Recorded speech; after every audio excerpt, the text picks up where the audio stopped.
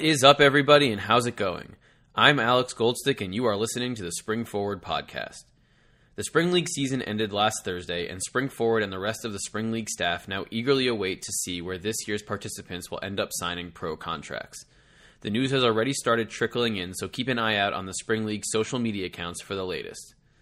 Planning for the Spring League showcase is already underway. The showcase is a five day version of the Spring League, which will allow elite professional football talent to get tape and game reps in order to get back into the pro ranks of the sport. The Spring League showcase will take place from June 5th to June 9th in the San Diego, California area. Head to thespringleague.com for more info. Now, let's get to today's interview with two sport kicking star Josh Gable.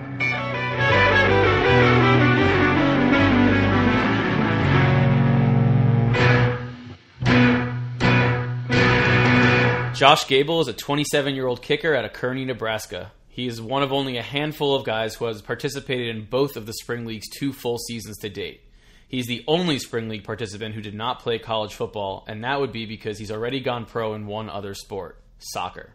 Without giving too much more away, let's welcome Josh on a spring forward to delve a little deeper into one of the more interesting people associated with the league.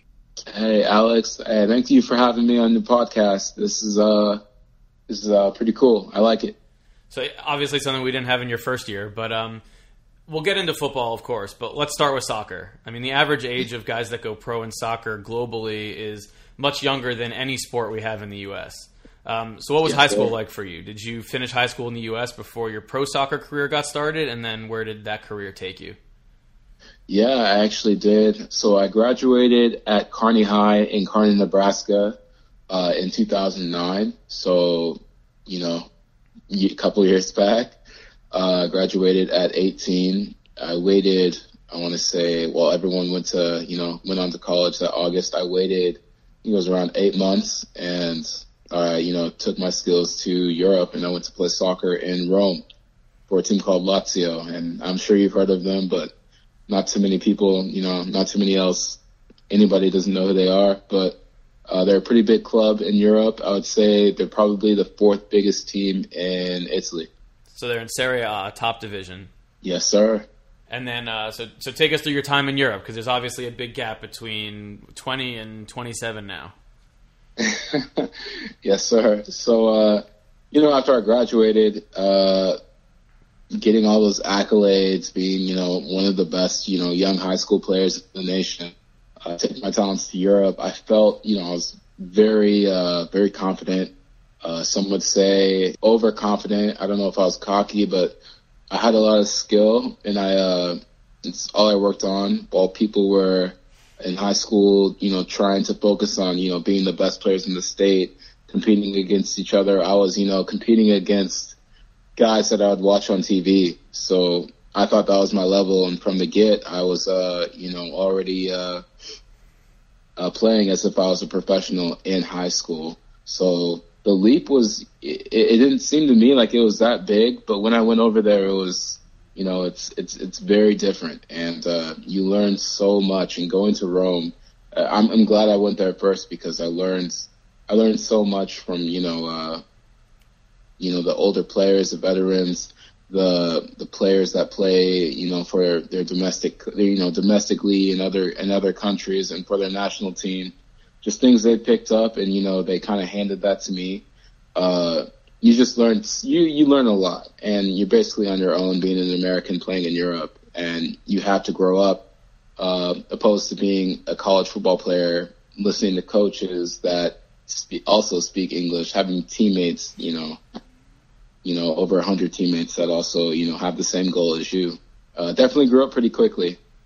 So what what is it like being an American in in European soccer? Because I mean, I'm a soccer fan, but let's you know liberally say that soccer is fourth or fifth ranked sport in the U.S. and it's number one pretty much everywhere else in the world, for sure in Europe and especially Italy. Um, is there a stigma tied to you being an American? I mean, what do you have to overcome being from this country and playing over there? Well, you you most definitely have to prove yourself, and you know they won't do you any favors. They won't um, they won't baby you. They won't give you special treatment until you prove yourself, especially as an American. and that was a wall that I ran into a couple times when I first went there. My first practice, uh, like I was telling you, it was like my first. I would say it was a while, my, maybe my first three months when I was there. It was a, it was a struggle. Just uh, watching the first team practice, even watching the Primavera team, the, uh, the AKA the the second team, the reserve side, very good. They were you know they were all as good as me, and I wasn't used to seeing that. Um, the reserve team wouldn't even let me take free kicks when I was there. Um, I had to build my way and uh, you know kind of uh, build a solid foundation. You know. Uh, and with that, I started, you know, studying the country and the and the city. I really liked it, and uh, the more I did that, the more things fell into place. Uh, everyone is family oriented over there, so it was very easy to fall in love with the city and you know become successful and you know just go about my business and earn a spot on the roster and having the first team sign me after those months and uh, I really felt like it helped me out. So, just from some what I remember of our conversation in Austin, I mean, one of the reasons why uh, you are where you are today and pursuing a career in football is you were sort of getting burnt out by the loan process in Europe, um, which isn't really something we deal with in, in American sports here. Um, you know, you, to, to, switch teams, you either get traded or, or you sign somewhere as a free agent. But uh, just quickly explain what, what loans are in European soccer, um, some of the cities that, that you played for uh, when Lazio loaned you out, and then I promise we'll get to the football. okay, so one of the uh, I had a short loan spell with um, Standard Liège in Belgium. Uh, then I also went to, I was also loaned to a team called Genk in Belgium and won a championship. Uh, after that, returned back. I thought I was going to play that summer because I was playing preseason with Lazio and, you know, had a pretty good preseason and lost my spot to a Argentinian international. Um, so they sent me back on loan. Um, not, you know, they didn't want to let me go. They sent me back on loan to, uh, the second division called Como Calcio and, uh, they're a pretty good team. Um, at the time they were in the Serie B. And, you know, after that I returned and I just felt like, you know, I, I was pretty burnt out with being, you know, on those loan spells, but, um, you know, I definitely had to make my mind and, you know, either return home and, or just, you know, seriously rethink things because, um, you know, just things weren't going the way I wanted, but at the same time, it's, you, you don't feel like giving up. You never, like giving up is like the last resort. So I was, uh, looking into all my options. Now, there's a very obvious connection between soccer and, and football kicking. Um, so you obviously did make the decision to return home. Um, had you ever played football before? Did you play high school football? You ever put on a helmet before and kick field goals? I have. I did that in high school. Obviously, uh, you know, making. I think I made all state around you know three times. The only year I didn't was when I did not go out my. I didn't go out my junior year because I was selected for the national team pool and I played, you know, for my select team in Nebraska. So, uh, yeah, I, I definitely, uh, I definitely was used to that, but the feeling, I, I you know, it, obviously it was nothing compared to you know college football or anything. And, I just didn't. And did you have the opportunity to kick in college if you had chosen that path after high school? I did have the opportunity. Yes, I had the. Uh, a lot of uh, let me see, would it be the big, Big Ten or Big Twelve teams? It was just like Oklahoma, um, you know, Texas, Kansas, you know, the surrounding states that, you know, have heard of my name and they had pretty big leg. Um, and you also had teams like Florida, I want to say UCLA, Princeton was like a really odd team that was there that like gave me a letter. So you come back stateside, um, and your first uh, experience uh, on a pro team is with the Iowa Barnstormers, correct? Yes, sir and that's before your first ever spring league. So, so what's that yep. sort of culture shock like, if there was any, or did you fit right in? Um, yeah, I mean, uh, there was there it was it was a bit different because you know knowing nothing about indoor football, uh, I obviously thought the field goal posts were, you know, regular size, just kicking indoor. I was like, how hard could this be? I did hear that the fields were like 60 yards before going in, and I didn't know the field goal posts would be only, you know, nine feet, nine feet wide as opposed to 18 feet outside. So I was like, okay, how hard can this be? Let's, you know, let's strap it up. Let's do it. And, uh, once I got there, it was like, well, you're going to get hit three times as much as that an actual kicker does in outdoor football. My coach told me, I was like, okay, like how hard can, okay, like I won't get hit. I'm pretty fast, you know, whatever. In my first game, I took some knocks. So it, set me back a little bit. Now, like we said, you're uh, you're one of I think only seven guys to have been in both spring leagues. So uh, you know, after your first uh, indoor season, you headed out to uh, West Virginia to play in the spring league, and then uh, this year you were in Austin. So just talk about the differences. Um, obviously, the spring league gives you an opportunity to kick outdoors, um, but what was the difference between the two spring leagues like for you?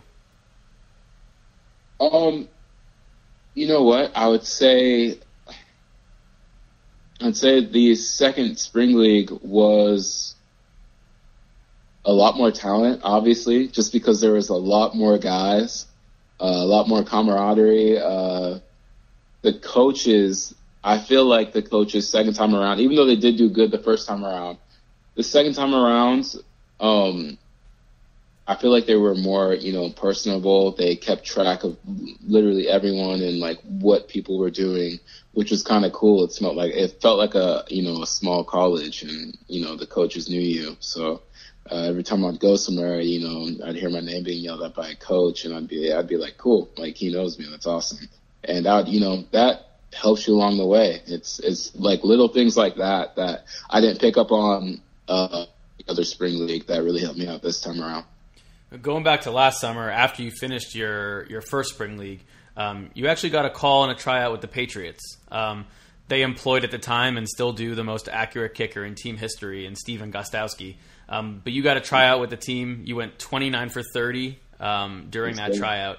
You know, take us through that. You're going from the Iowa Barnstormers to rural West Virginia with the spring league to the Patriots.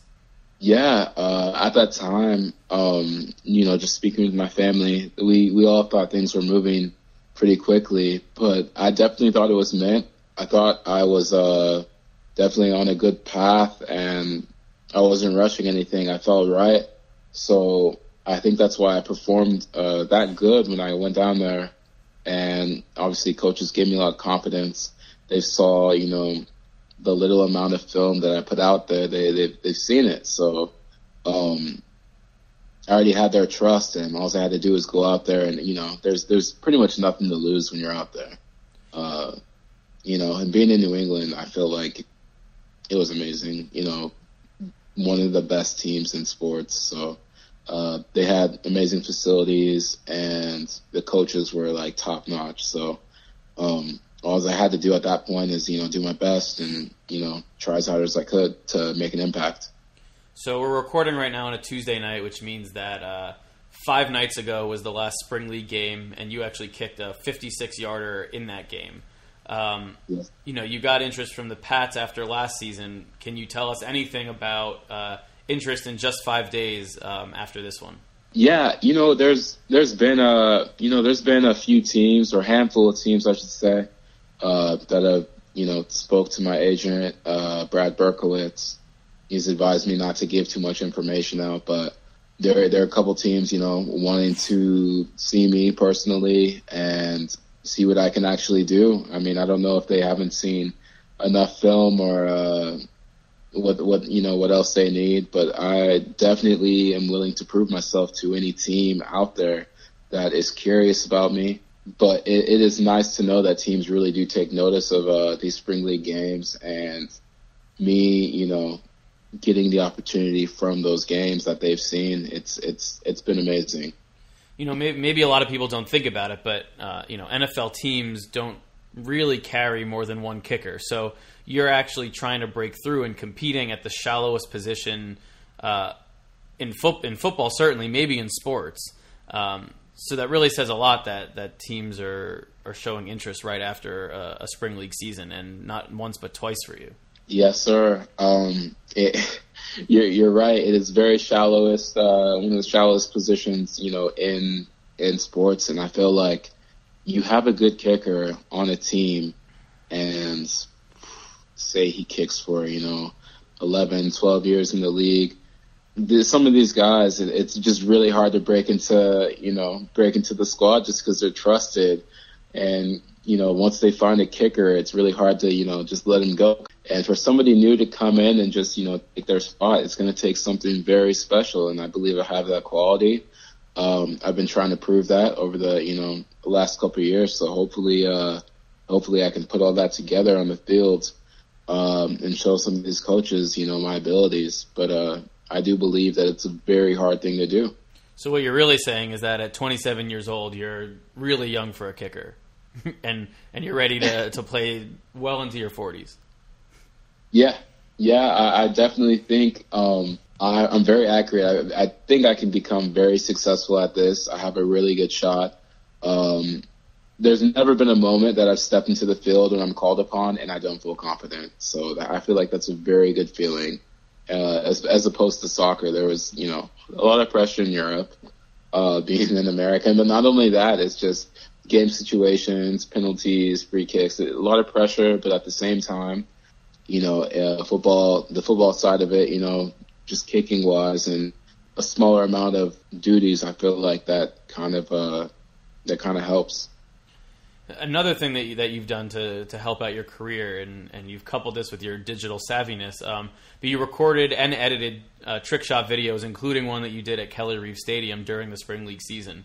Um, you know, obviously juggling and tricks are a big part of soccer, but you've made it part of your football DNA too. When did you start seeing potential in releasing videos like that, and and also seeing that you could do the same thing with a football as you could with a soccer ball? Um, you know what? I uh, I, I really don't know where that came from. I, I think I was just messing around. Honestly, it came from when I, I think it came from when um uh, I was still going through that, you know, transformation. I was, you know, kicking the soccer ball around, trying to kick the football around, you know, doing a little bit of the same things, short field goals, uh, kicked like a 40 yarder. Um, and I felt good after that. I was like, oh, I can, you know, I can, I can really do this. And it was when I was kicking the ball through because I only had one ball at the time. So I kicked the ball through. I want to say it was uh, like a 50 yarder. I kicked it through the through the field goal had to run back and get the ball. And on my way back, I'd like do tricks. So I think that's where it like sparked. And I was like, hey, like I, I'd kick it back through the, you know, backside of the field goal post, you know, kind of like a crazy way or a drop kick or, you know, juggle the ball, then kick it through, then, you know, set it up for my next field goal. So I was just like, I'm videotaping my field goals right now. Why don't I like videotape myself doing something like this? So it was kind of cool how I put it together, but I, I kind of think that's how it came from. Now you're you're a Nebraska native, and if you look through your Instagram, in addition to uh, you know trick field goal shots, you also see some some snowy shots, some kicking in the snow. Is uh, yeah. is that something you're trying to play up to your advantage, given uh, where you come from and where you practice? Is that something that teams have noticed about you when you've talked to them? I mean, yeah, I, I definitely think so. I it, when it snows, I don't go in. I'm not. I don't shy away from the you know the opportunity to make the most of kicking in the snow. I don't know. I, I guess it makes me more accurate with you know the weather conditions going on. I'm really ready for any uh, any type of weather there is, whether it be you know snow or sleet, you know rain. Nebraska has literally everything. Uh, you know, as long as it's you know not it's not a tornado. I'm, I'm sure I can kick in that too. But at the same time, I feel like that's helped me, and that also demonstrates that I can, you know, uh, kick in any type of weather. Now you, so you're, you're passionate about uh, sports, obviously, but you've got you've got some interest outside of the athletic realm as well. One thing that I'm especially interested in is your sneaker customization, and you seem to be, uh, you know, coupling your passion for art with sneakers uh, together. Uh, take us through that and and what how sneaker customization entered into your expertise.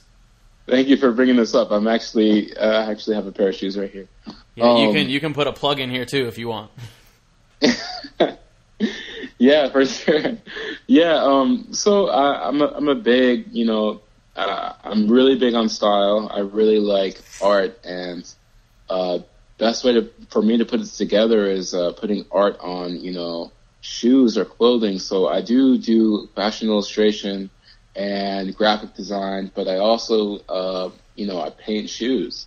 And at first I didn't think, you know, it was just like for myself. I, I didn't think much of it, but, uh, posted a few things on Facebook and Instagram and people started liking my customized shoes and, um, like my last pair of shoes I like made, it was like second to last. I started making like Supremes out of, you know, the bands that I would get, um, and a guy from actually New York, he he hit me up on my Instagram and was like, "Hey, like, how much are you selling these for?" And I told him, uh, well, I told him the price, but he legitly it was just like, I'll, "I'll buy these for like four ninety nine, like pretty much five hundred dollars."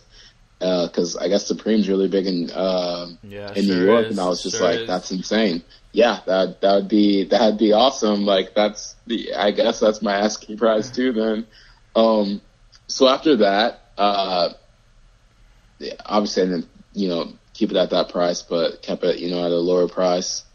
And, you know, more people, more kids were like, Hey, this is my, uh, this is my shoe size. Could you do this shoe size? And I'd order the shoes and, you know, it kind of, kind of sparked. And, uh, it hasn't been like a full time thing, but I, I just do it, you know, uh, you know, as a hobby kind of, you know, kind of on the side, but, uh, it'd be really cool to make something more of it in the future. Well, so from from spring league highlights to trick shots to sneaker customization, we've talked about your Instagram a lot. Uh, you might as well just tell the people where they can find you. All right. So my Instagram name is okay at Josh Gable. That's Josh G A B L E, and uh, yeah, feel free to follow. That seems like I definitely follow back. that seems like a good place to end. I want. I do want to. My apologies to Kearney, Nebraska. I led off with the incorrect pronunciation, and uh, you know, don't hate me. Please keep listening to Spring Forward. Um, but appreciate Josh joining us, and uh, you know, best of luck to him in his his NFL dreams. Go go pro in two sports. Yes, sir. Thank you, Alex.